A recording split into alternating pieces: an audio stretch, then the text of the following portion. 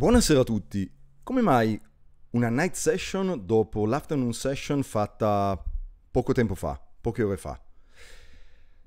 Faccio questa night session di mercoledì 20 luglio, ore 22.46, per un semplice fatto, che prima di tutto vorrei farvi un piccolo dono, ovvero mi sono consultato con il gruppo di trader che coordino nel premium e mi hanno detto ok, puoi dargli questo swing, ovvero è arrivata la discesa come d'attese, siamo andati peraltro sotto questo minimo a 22.916, abbiamo fatto infatti 905 e quindi non solo abbiamo reso ribassista il primo dei settimanali di questo T settimanale, ma siamo già andati in violazione di quello che da questo massimo ci dice che sta partendo non soltanto un T-3 come nelle altre precedenti volte, ma sta partendo un nuovo ciclo a minimo 3 giorni, massimo 5, un T-1 inverso.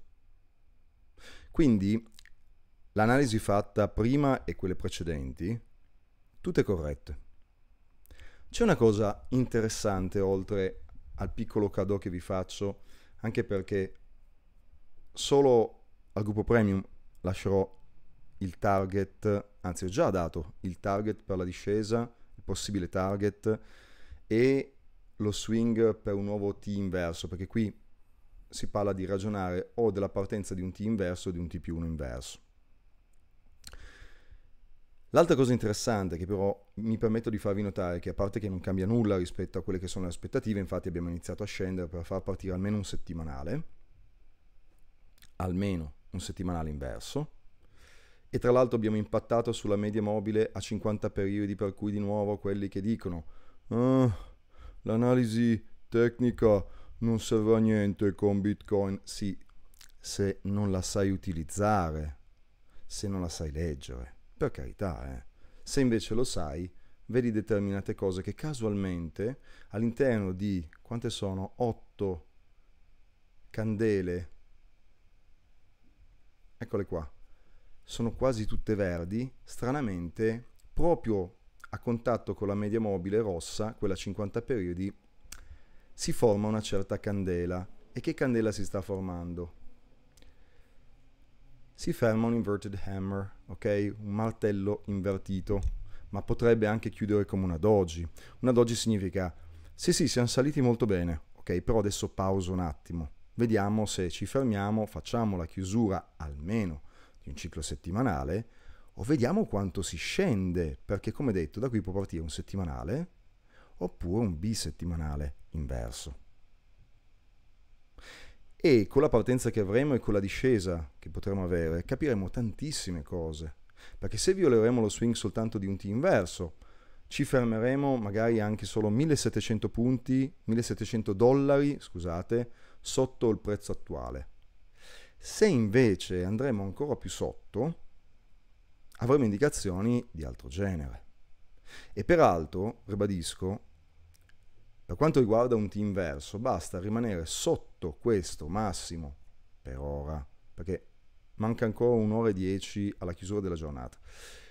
Ma bisogna rimanere almeno sotto questo massimo fino non soltanto alla chiusura di questa candela, ma anche della prossima per far partire un settimanale. Per far partire un bisettimanale inverso ne servono almeno 3 di candele sotto questo massimo, compresa questa candela. Per cui già soltanto dal numero di candele e dal colore, il colore in realtà no in questo caso, dal numero di candele che rimarranno sotto i 24.276 dollari, capiremo cosa può partire. Capiremo quindi ancora di più se siamo in questa condizione e se abbiamo voglia di fare che cosa?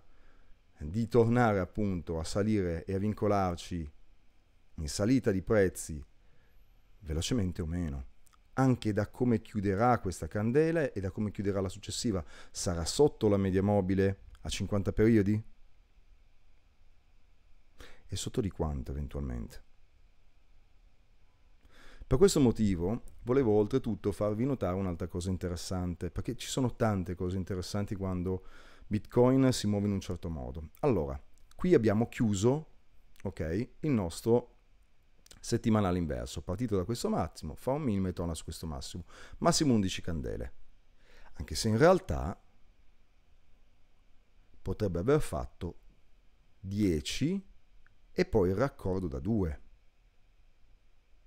Perché comunque, in ogni caso, l'evoluta, a differenza della vecchia ciclica, come ripeto da un miliardo di analisi, e qui tiene, tiene conto comunque del tempo, e quindi tiene conto del fatto che qui, in ogni caso, da qui a qui, abbiamo avuto 63 barre di raccordo inverso T-2, che si colloca solitamente tra due cicli di grado bisettimanale T più 1 inverso.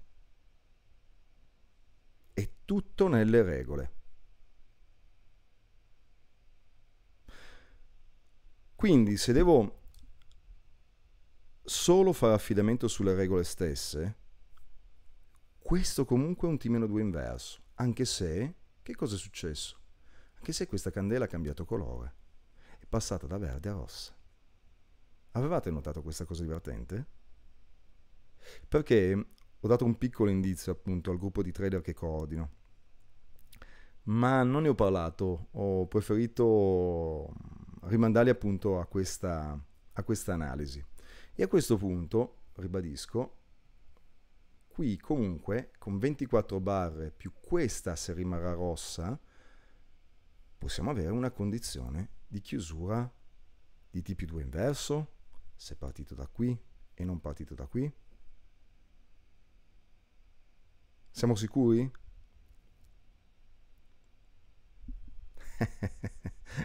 La risposta è semplice, è sempre nelle regole. Se conoscete le regole, dato che questo è un metodo statistico, matematico, non discrezionale, chiunque li impari, se le sapete queste regole, potete dirmi, eh ma no, hai detto una stupidaggine, eh ma no, questa cosa qua non funziona perché. E se entrate nel dettaglio potete farmi notare magari delle cose che mi sono sfuggite, per cui mi fa piacere se ci sono dei commenti che sono costruttivi e che mi ricordano che ho fatto un errore. Errore che può capitare a tutti, peraltro. Il trading non è fare il 100% delle operazioni corrette. Eh? Non esistono queste statistiche.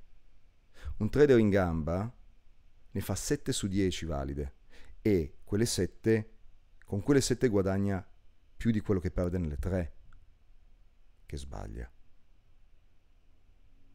Se però voi andate a vedere le statistiche dei broker, vedrete che oltre l'85-90% delle persone, o almeno delle persone che fanno trading, che non sono trader professionali, ehm, non arriva neanche lontanamente a quella statistica e soprattutto continua a perdere costantemente. Poi c'è circa un mm, 6% di persone che non perdono e non guadagnano e poi nella statistica c'è un 4-5% di gente che invece sistematicamente guadagna. E se andate a controllare chi appartiene a quella categoria, scoprirete che non sono quelli che sanno tutto di Bitcoin o delle altcoin o delle cripto o uh, del, della blockchain o di tutte queste cose qua, ok? Ma appartengono a una categoria ben particolare, che tra l'altro non ne sa magari neanche nulla di borsa. Sapete che categoria è? È quella dei matematici. Gente che costruisce un modello matematico e poi schiaccia il pulsante quando deve andare long o schiaccia il pulsante quando deve andare short e chiude l'operazione quando glielo dice il sistema. Come un robot. E meno emotività c'è nel trading e più si guadagna. Questa è la questione. Voi volete fare parte di chi sistematicamente si porta a casa il suo o volete rimanere in balia dell'emotività? Delle notizie, che come abbiamo dimostrato negli ultimi giorni tra caduta del governo, eh, tassi USA, eccetera, non contano niente, se non nel brevissimo, sui grafici. Con la caduta del governo, guardate dove siamo.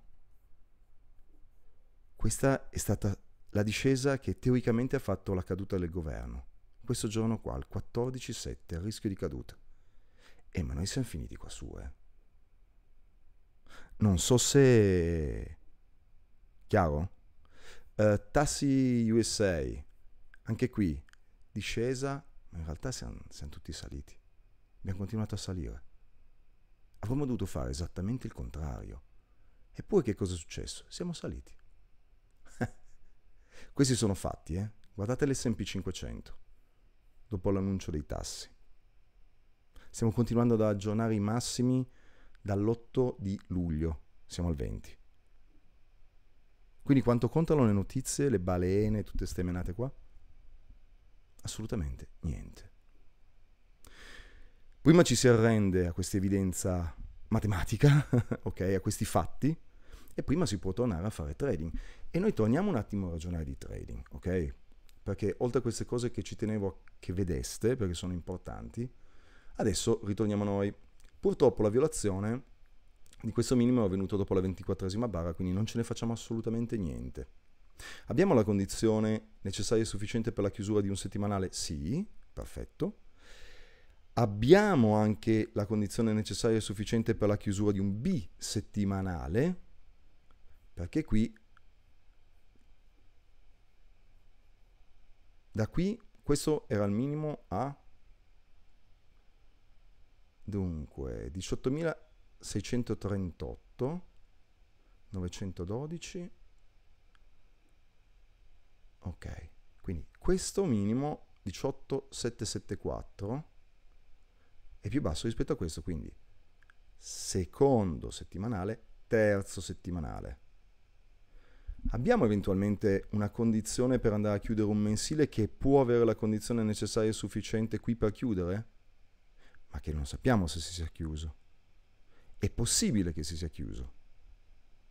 Ci sono tutte le condizioni perché si sia chiuso. Ma qui abbiamo già una condizione necessaria e sufficiente per la chiusura di un mensile lato indice? No. Per cui anche se non ci sarà, allora, se ci sarà, potremo fare delle riflessioni. Se non ci sarà, ne potremo fare delle altre. Potremo finalmente capire se qua si è effettivamente, come immagino, come penso, interrotto il primo mensile e avendo un primo mensile rialzista o laterale rialzista significa che esattamente entro i 336 giorni del countdown che avete visto che avevo eh, pubblicizzato nelle, ehm, nei titoli okay, delle precedenti analisi, da qui può stare parti- partendo finalmente l'annuale, un annuale nuovo, eh, in sordina, con molta calma, ma qui può stare partendo un annuale. Quando qua, quando continuavamo a scendere e a ritornare vicini a questi minimi, la gente diceva no, no, prima si va a 13.000, c'erano i commenti, no, ah, no, no, si torna a 5.000, no, si torna a 3.500 dollari, invece siamo saliti. Esattamente come da attese e come da vincolo sull'inverso. Perché il, se arriva a 13.000, se non è motivato, quanto vale, essendo un'opinione? E il 5.000, il 3.500 dollari 3.500 dollari quanto vale, essendo un'opinione? E all'atto dei fatti direi niente.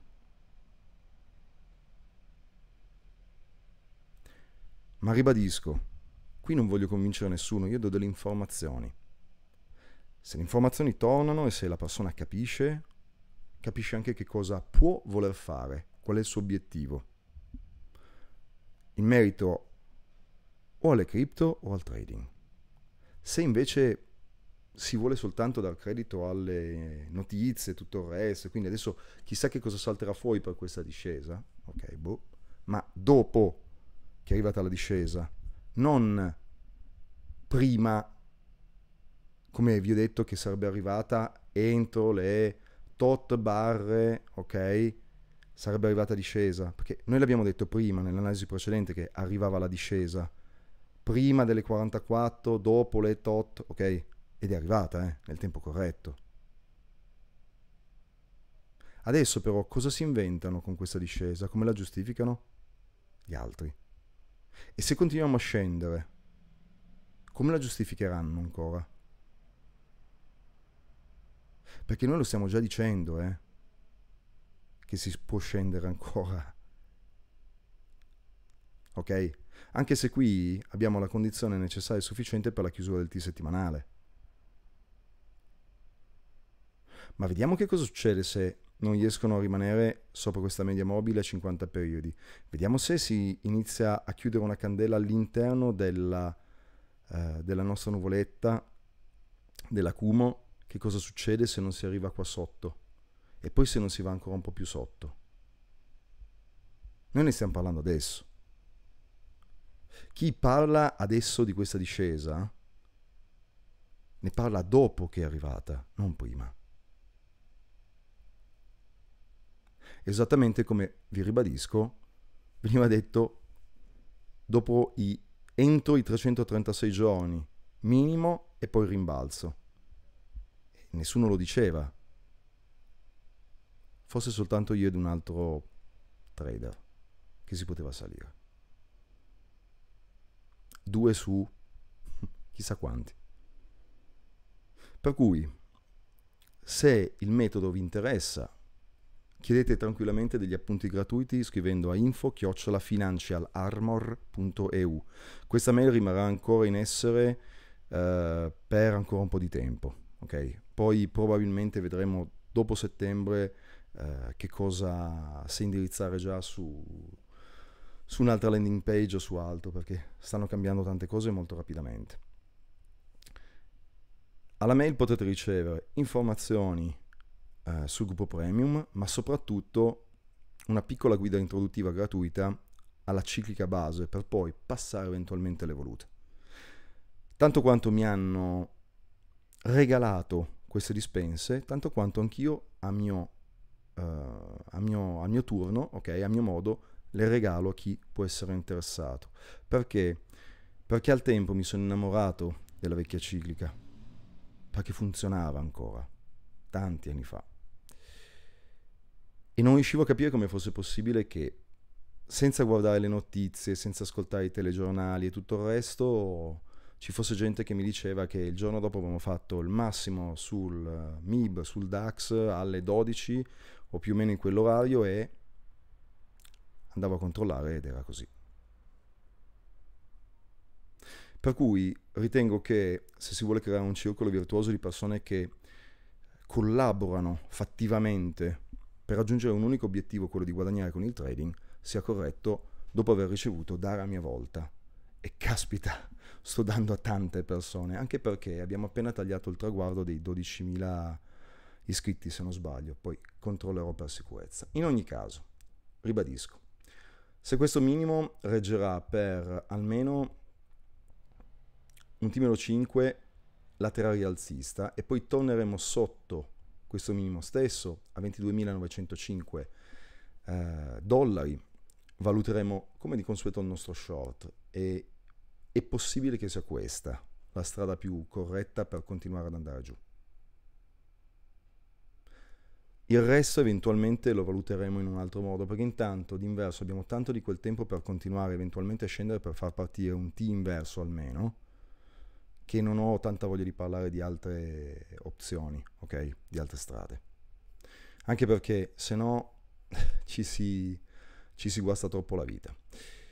Spero che abbiate gradito il dono, le varie informazioni ulteriori rispetto alla precedente analisi e caspita siamo di nuovo arrivati attorno ai 19 minuti di analisi, um, siamo quasi di nuovo in un altro webinar.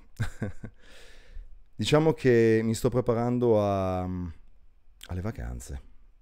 Vi ringrazio per il vostro tempo, vi ringrazio molto anche per i tanti input che mi date per fare questi video e per rispondere alle vostre domande. Sappiate che la community su Facebook adesso si chiama Evoluta, ok? Quindi la trovate lì. Lì è più facile che risponda persino più rapidamente rispetto al canale di Facebook. Um, cos'altro raccontarsi? Beh, L'altra notizia fantastica di oggi, a parte quella che finalmente è arrivato il passaporto e quindi posso partire per la meta che ho già deciso di andare a godermi questa vacanza che sarà lunga perché devo recuperare due anni di Covid per cui non sono potuto andare all'estero. Ecco, è il fatto che la Midnight ha tirato fuori Lady Vendetta. E se non conoscete la trilogia della vendetta di Chan-wook Park, che parla di quanto vacuo sia questo sentimento, vi suggerisco di dare un'occhiata ai Blu-ray. Buona serata a tutti, arrivederci.